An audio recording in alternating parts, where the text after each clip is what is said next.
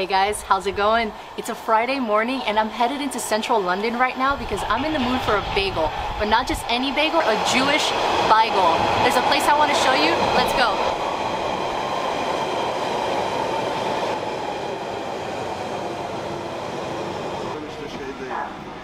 The place we're going to is called Beigel Bake and it's located on the historic Brick Lane Road, famous for street art, vintage shops, and tons of international cuisine. Andres and I were strolling down looking at vintage shops one afternoon and I looked over to my left and saw this big white sign that said Beigel Bake, which I read as bagel at the time, and a huge line standing out the door. I was like, what is that? 24 hours, seven days, and there was bagels in the window and I was like, I am definitely coming back for this. Today's the day.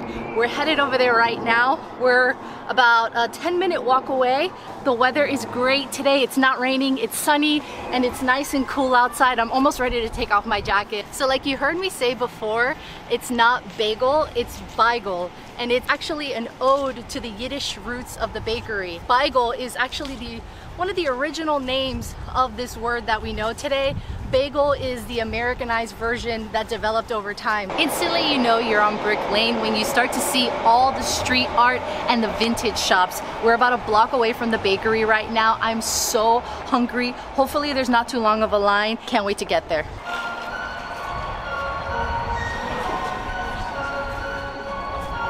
All right, I've made it to the bakery, the big white sign. There is a bit of a line, but I think it's gonna move quickly. It's coming out the door now, so I wanna hurry up and get in line before it gets any longer. Let's go.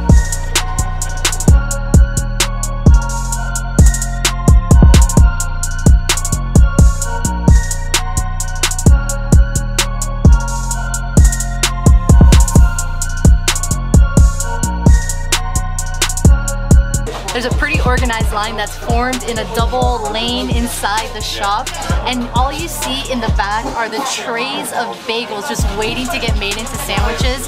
They make thousands of bagels a day. This place runs 24 hours a day, seven days a week and produces bagels around the clock. Two salt bagels, uh, mustard and pickles please. Anything else? Uh, two waters please. All right, I've got my bagel sandwich and man, they really run a tight ship in there. We waited maybe five minutes in line.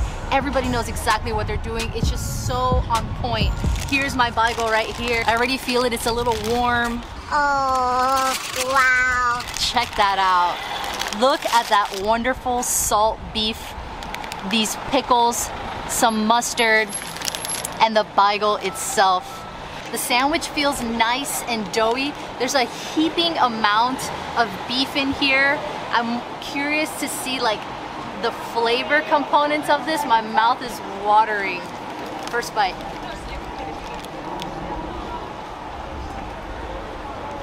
Mm. Oh my god. It was worth the hour of traveling it took to get here. Mm. That's amazing. Let's start with the bagel itself. It's chewy, dense. They boil the bagels, then they chill them in ice water and then finish baking them. It's all part of the cooking process.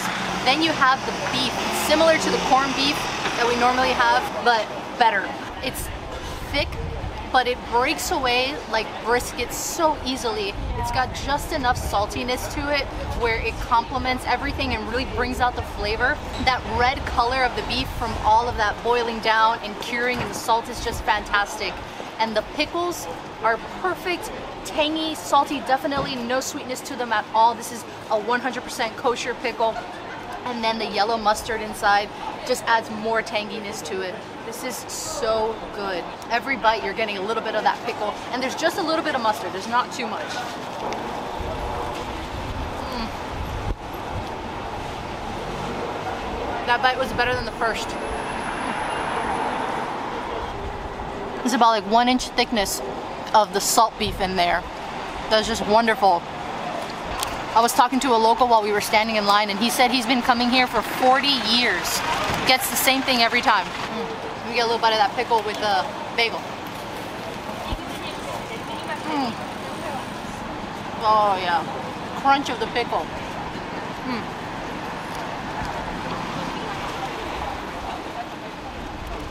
So good. I love how even though this is a street food, it's not very messy, so it's a pretty pleasant experience all around. Come look at this though. I want to show you the inside of the sandwich. Let's take a look at that. Look at that. Those perfect slices of the salt beef. Just a little bit of fat on there, but everything is so tender and juicy. Then you've got the pickles, nice slice. I actually am really glad I got this um, end piece of the pickle. I love that side of the pickle. Just a little bit of mustard, just enough to kind of just wet the bread and give it a little bit of tanginess to it.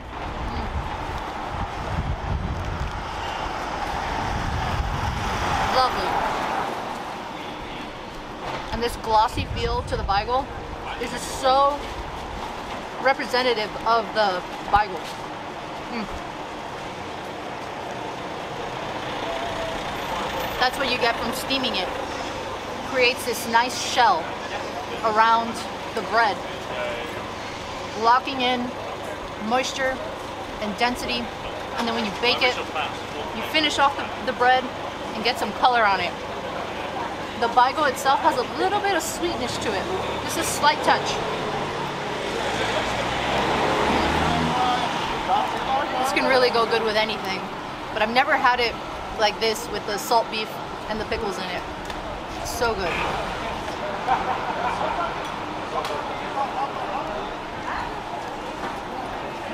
I'm so happy right now. I'm glad I was able to make it today on a Friday than uh, a weekend because it really gets so busy on the weekends.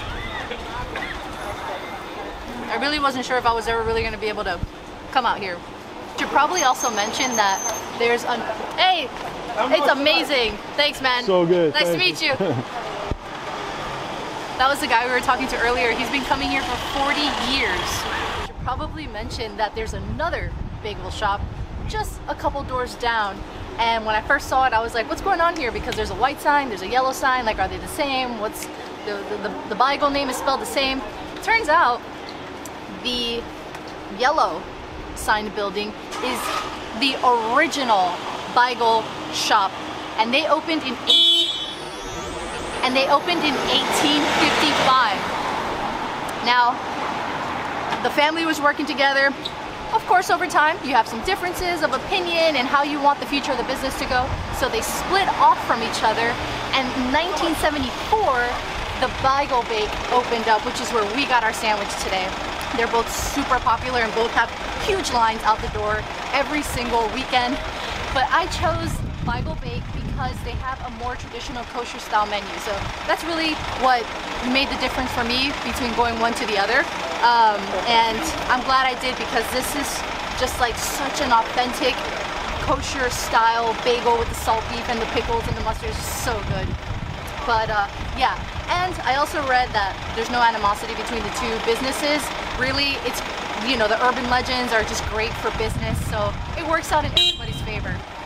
So yeah, really good stuff.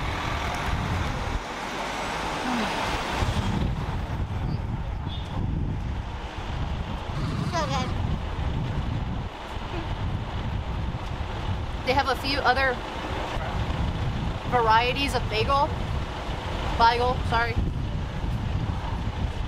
They have a poppy seed one.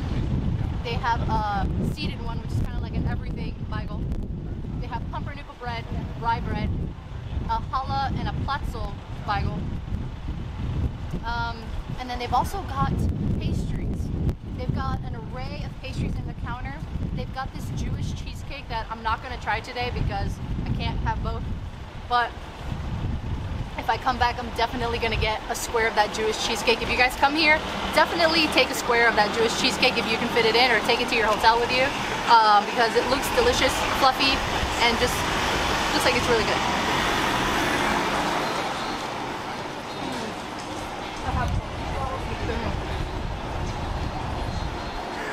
Look how that just comes off there. Mm.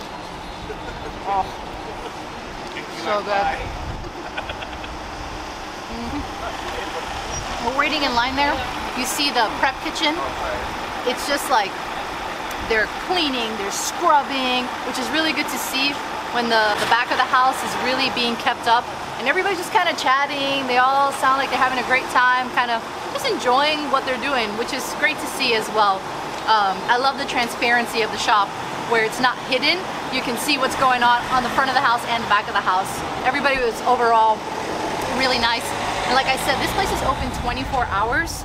I mean, so in the middle of the night, you have the club goers getting out of the club, needing something hefty to like wash away and absorb all of the alcohol and other fun stuff they've had that evening. So, I mean, this is like, it's great. I mean, you can't, you can't beat it. Like, the prices are good. The salt beef was eight pounds, which is a little bit more expensive, but if you're just getting like their bagel with cream cheese or their, their solo bagels, they're like maybe 50 pence, 50 cents, um, super inexpensive.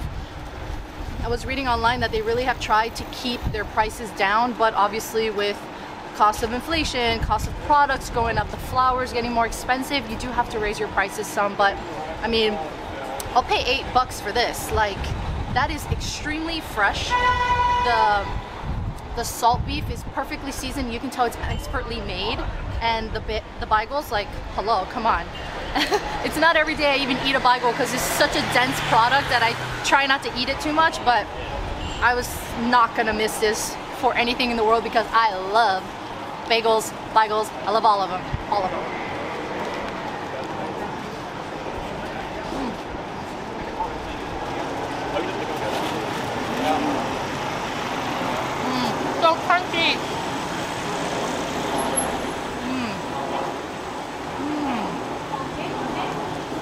Getting a little bit of like a horseradish flavor off of that pickle bite. Yum. Mm-hmm. If you eat this after going to a club, you're gonna go home and you're gonna knock out. You're gonna be so cozy. this is great.